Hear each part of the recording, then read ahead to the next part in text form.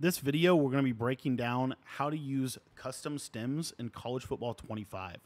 So what you're going to be looking for when you're doing a custom stem is you're looking for routes that have basically cuts or breaks within their routes. For example, as you can see here, this play PA kind of go, this out route to the tight end is going to have a cut in it. Another example be like deep in, you see the corner route, the post route, the dig route, those all have cuts within the route. Wide receiver short post. We'll show you curl flat. We'll get on the field here and show you curl flat. Uh, let me actually just get this with my trips to the wide side of the field. So basically what you're going to be doing, and this is how you do it, you're, when we say custom stem, what we basically mean is you are going to hot route and you're going to see at the bottom this little L1 is going to is going to be the custom stem. Now what you've got to do and this is a mistake a lot of people make, they they tap it. You don't want to tap it. You want to hold it.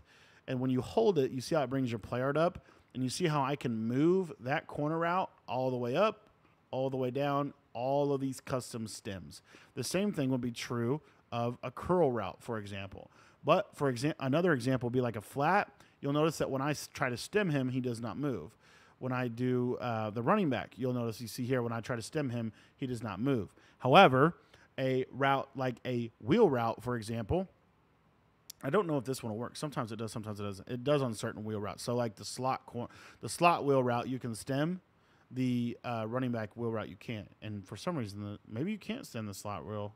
Maybe maybe you can't. Maybe there's only certain wheel routes uh, that you can stem. You can stem some of them though. I guess there's like stock routes, but but anyway, so like a post is a great example. So you see here I can stem, um, and the player is kind of bugged, but you see here, see how I can stem them all the way up, all the way down, you know, based off of whatever. So you hold LB or L L1, and then you drag it with the right stick to wherever you want it to go.